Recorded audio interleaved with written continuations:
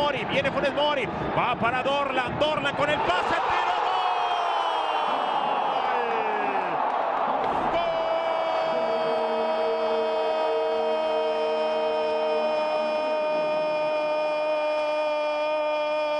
gol.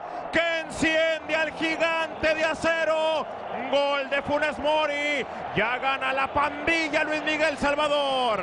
Mira, hay que darle mérito en esta jugada, además de, de Pavón y Funes Mori, la manera en que reacciona Carlos Sánchez para cortar el avance y con la cabeza darle el pase a Pavón cuando ya venía a Guadalajara con balón controlado, tiene mucho mérito, porque de ahí agarra abierto a Guadalajara con espacios y ya no perdonaron en esta ocasión. Néstor de la Torre. La misma medicina, recuperar el balón.